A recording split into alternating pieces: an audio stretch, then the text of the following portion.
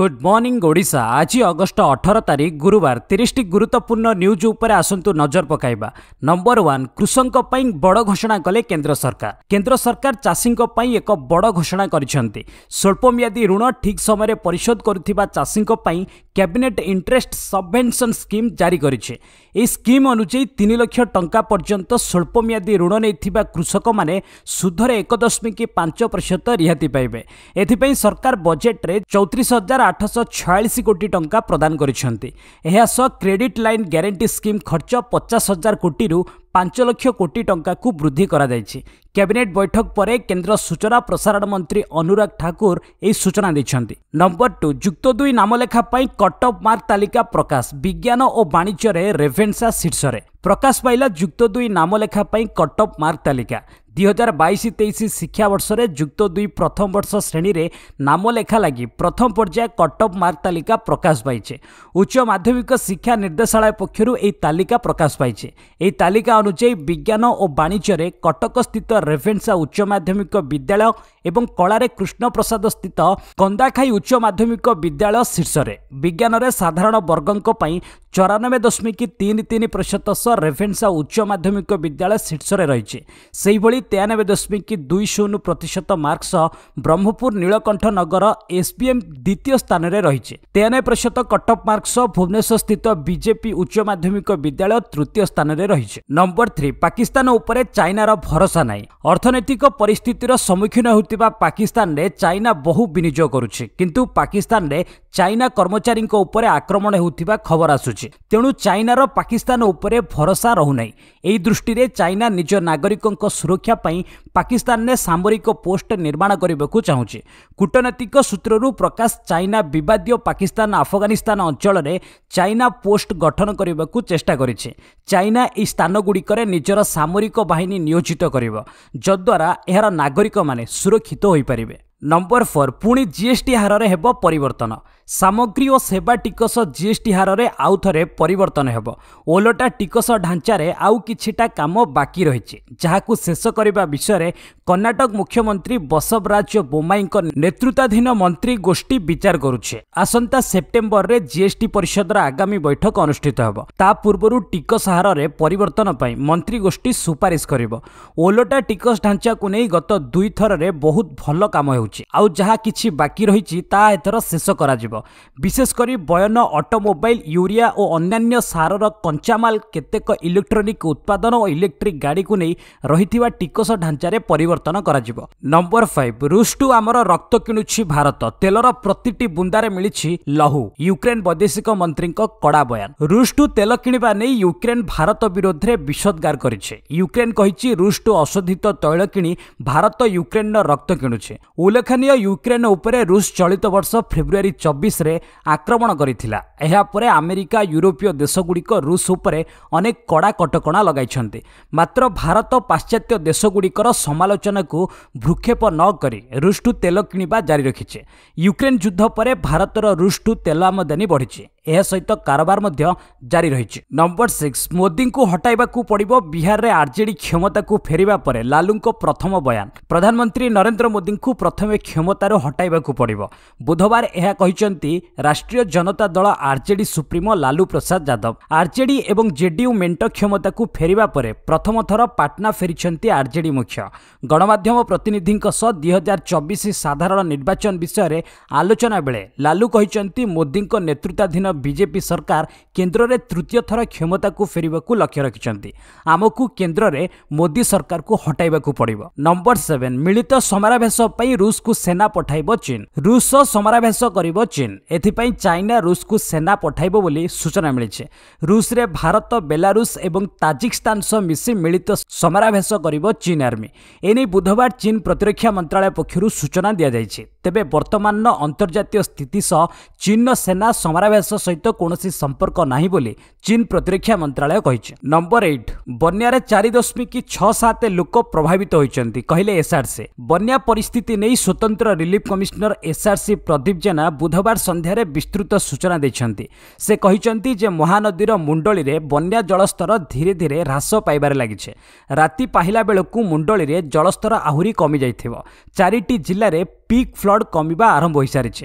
କେନ୍ଦ୍ରାପଡ଼ା ଜଗତସିଂହପୁର କଟକ ପୁରୀ ଜିଲ୍ଲାର ତଳିଆ ଅଞ୍ଚଳରେ ପିକ୍ ଫ୍ଲଡ୍ କମିଛି। ସେହିଭଳି ରାଜ୍ୟର ଛଅଟି ସ୍ଥାନରେ ଘାଇ ସୃଷ୍ଟି ହୋଇଛି। ଘଳିଆ ପଡ଼ିଥିବା ସ୍ଥାନକୁ ମରାମତି କରାଯାଉଥିବା ସେ ସ୍ପଷ୍ଟ କରିଛନ୍ତି। ବର୍ତ୍ତମାନ ସୁଦ୍ଧା ବନ୍ୟାରେ ଚାରି ଲକ୍ଷ ସତଷଠି ହଜାର ଲୋକେ ପ୍ରଭାବିତ ହୋଇଛନ୍ତି। ନମ୍ବର ନାଇନ୍ ମୁଣ୍ଡଳିରେ ଖସୁଛି ଜଳସ୍ତର। ମୁଣ୍ଡଳିରେ ଜଳସ୍ତର ସାମାନ୍ୟ ଖସିଥିବା ଜଣାପଡ଼ିଛି। ହେଲେ ଏବେ ବି ମହାନଦୀ ବିପଦ ସଂକେତ ଉପରେ ରହିଛି। ମଙ୍ଗଳବାର ମୁଣ୍ଡଳିରେ ବାର ଲକ୍ଷ କ୍ୟୁସେକ୍ ଉପରେ ଜଳସ୍ତର ଥିବାବେଳେ ବୁଧବାର ହ୍ରାସ ପାଇ ଏଗାର ଲକ୍ଷ ସତସ୍ତରୀ ହଜାର ଚବିଶ କ୍ୟୁସେକ୍ରେ ପହଞ୍ଚିଛି।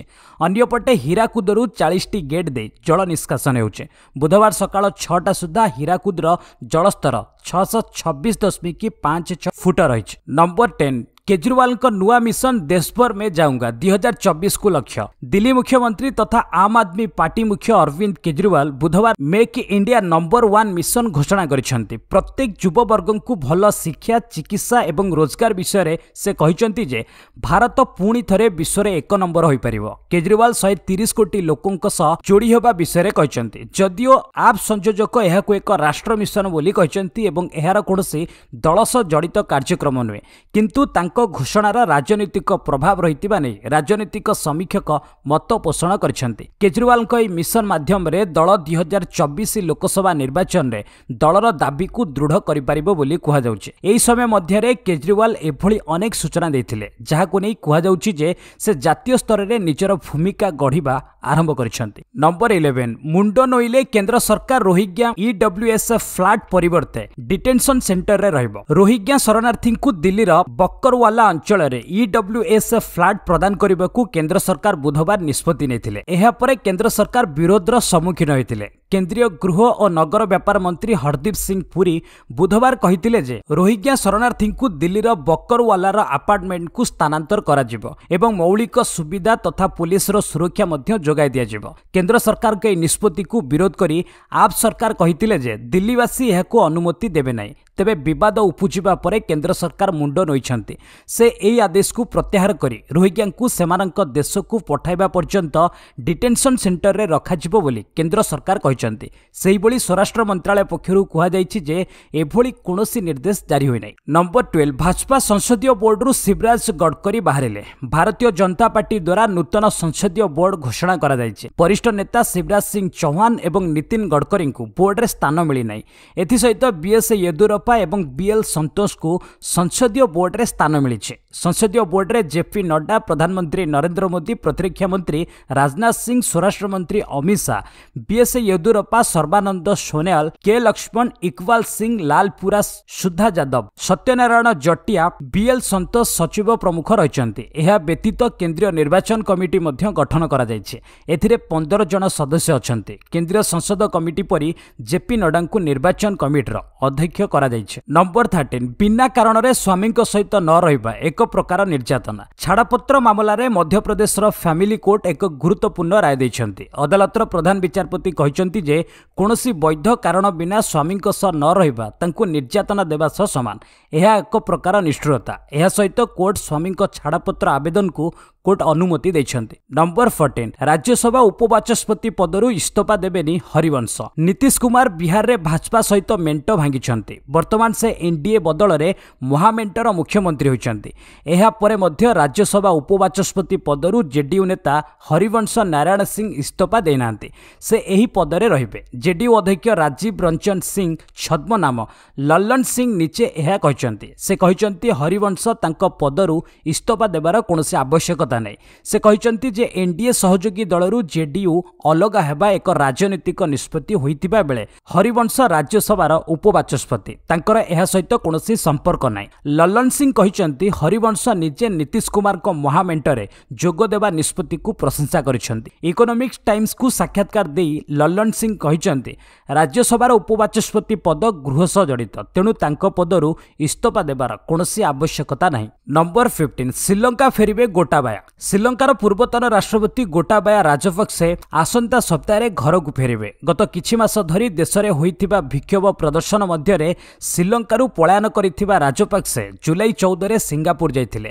ବର୍ତ୍ତମାନ ରୁଷିଆରେ ଶ୍ରୀଲଙ୍କାର ପୂର୍ବତନ ରାଷ୍ଟ୍ରଦୂତ ତଥା ରାଜପକ୍ଷେଙ୍କ ଜଣେ ଘନିଷ୍ଠ ସହଯୋଗୀ ଉଦୟଙ୍ଗା ବିରାତୁଙ୍ଗା କହିଛନ୍ତି ଗୋଟାବେ ଅଗଷ୍ଟ ଚବିଶରେ ଶ୍ରୀଲଙ୍କା ଫେରିବେ। ନମ୍ବର ସିକ୍ସଟିନ୍ ତେର ଦେଶ ଉପରେ ଚାଇନାର ନଜର। ଚାଇନା ବହୁ ପୂର୍ବରୁ ସମଗ୍ର ପୃଥିବୀକୁ ନିଜ ଦଖଲରେ ରଖିବାକୁ ଇଚ୍ଛା ପ୍ରକାଶ କରିଥିଲା। ବର୍ତ୍ତମାନ ଏହା ଧୀରେ ଧୀରେ ନିଜ ଲକ୍ଷ୍ୟ ଆଡ଼କୁ ଗତି କରୁଛି। ବିଭିନ୍ନ ଦେଶରେ ସାମରିକ ବେସ୍ ନିର୍ମାଣ କରି ଚାଇନା ସମଗ୍ର ପୃଥିବୀରେ କେତେକ ଶକ୍ତିଶାଳୀ ତାହା ପ୍ରମାଣିତ କରିବାକୁ ଚେଷ୍ଟା କରୁଛି।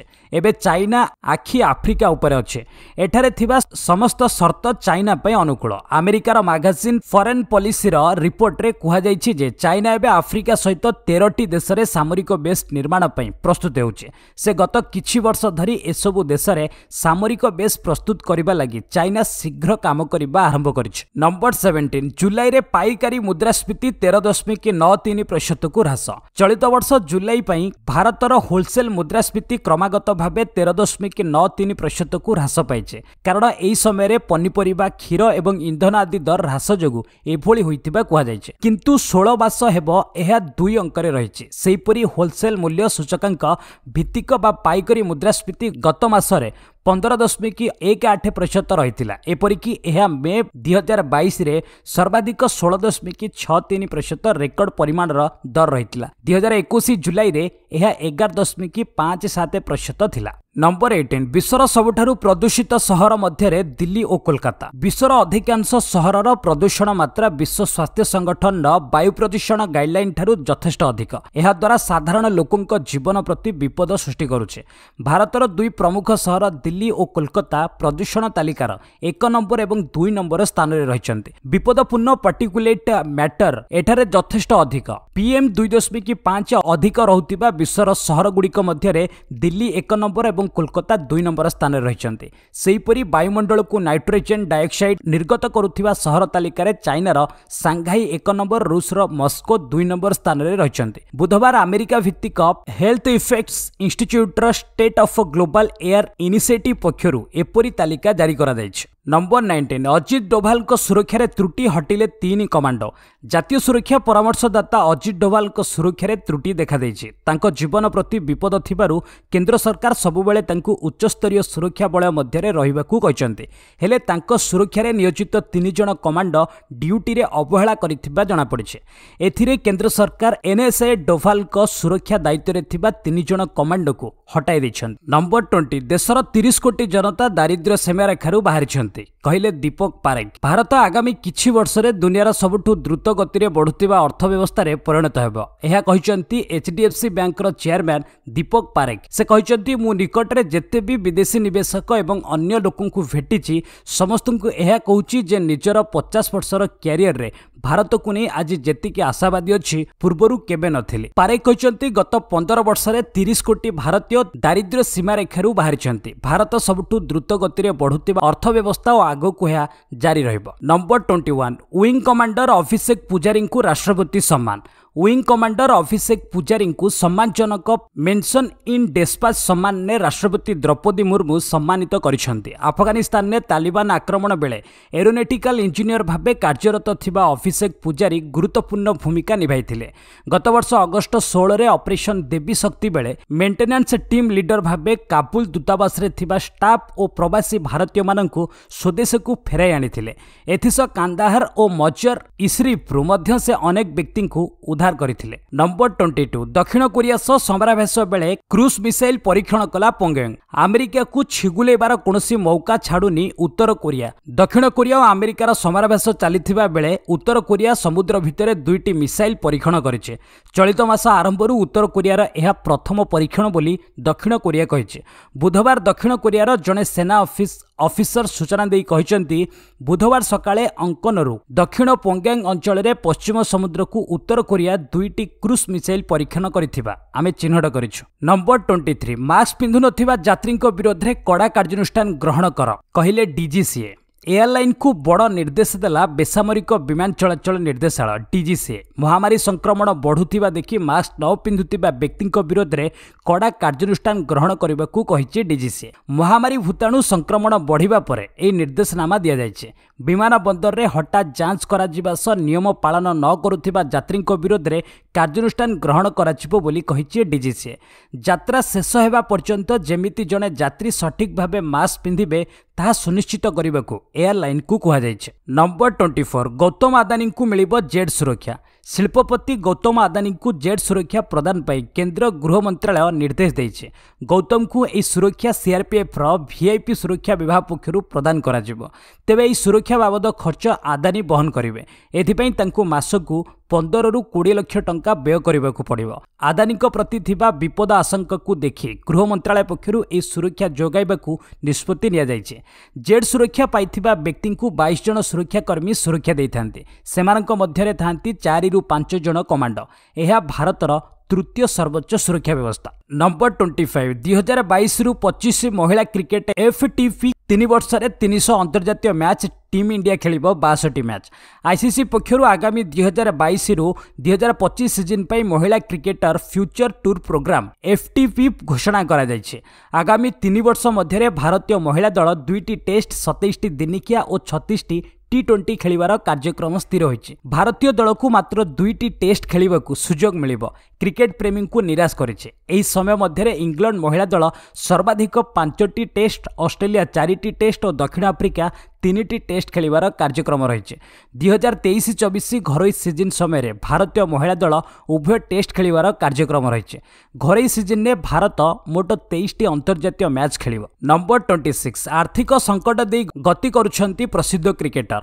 ଭାରତର ପୂର୍ବତନ କ୍ରିକେଟର ବିନୋଦ କାମ୍ବଲି ଆଜିକାଲି ଆର୍ଥିକ ସଙ୍କଟ ଦେଇ ଗତି କରୁଛନ୍ତି। ସେ ଏବେ ଚାକିରି ସନ୍ଧାନରେ ଅଛନ୍ତି। ଦିନେ ଭାରତୀୟ କ୍ରିକେଟର ନୂତନ ସେନ୍ସେସନ୍ ଭାବରେ ବିବେଚିତ ହୋଇଥିବା ବିନୋଦ କାମ୍ବଲି କହିଛନ୍ତି ଏବେ କେବଳ ବିସିସିଆଇ ଦେଉଥିବା ପେନ୍ସନ୍ ଆଧାରରେ ତାଙ୍କର ପରିବାରକୁ ଚଳାଉଛନ୍ତି। ସଚିନ ତେନ୍ଦୁଲକରଙ୍କ ସହ କ୍ରିକେଟ କ୍ୟାରିୟର ଆରମ୍ଭ କରିଥିବା ବିନୋଦ କାମ୍ବଲି ଏକ ସାକ୍ଷାତକାରରେ କହିଛନ୍ତି ମୁଁ ଜଣେ ଅବସରପ୍ରାପ୍ତ କ୍ରିକେଟର ଏବଂ ବିସିସିଆଇର ପେନ୍ସନ୍ ଉପରେ ସମ୍ପୂର୍ଣ୍ଣ ନିର୍ଭରଶୀଳ। ମୋର ଏକମାତ୍ର ଆୟର ଉତ୍ସ ହେଉଛି ବିସିସିଆଇ ଏବଂ ମୁଁ ଏଥିପାଇଁ ବହୁତ କୃତଜ୍ଞ। ଏଠାରୁ ମୋ ପରିବାର ଖର୍ଚ୍ଚ ଚାଲିଥାଏ। ମୋର କାମ ଦରକାର। ନମ୍ବର ଟ୍ୱେଣ୍ଟି ସେଭେନ୍ ପୁଣି କୋହଲିଙ୍କୁ ଟପିଲେ ବାବର। ଏକା ସଙ୍ଗେ ଚାରି କ୍ରିକେଟରଙ୍କ ରେକର୍ଡ ଭାଙ୍ଗିଲେ। ରୋଟରଡାମ୍ରେ ଖେଳାଯାଉଥିବା ପ୍ରଥମ ଦିନିକିଆରେ ପାକିସ୍ତାନ ନେଦରଲ୍ୟାଣ୍ଡକୁ ଷୋହଳ ରନ୍ରେ ପରାସ୍ତ କରିଛି। ଏହି ମ୍ୟାଚ୍ରେ ବାବର ପଞ୍ଚାଅଶୀ ବଲ୍ରେ ଚଉସ୍ତରୀ ରନ୍ ସଂଗ୍ରହ କରି ଆଉ ଏକ ରେକର୍ଡ ସୃଷ୍ଟି କରିଛନ୍ତି।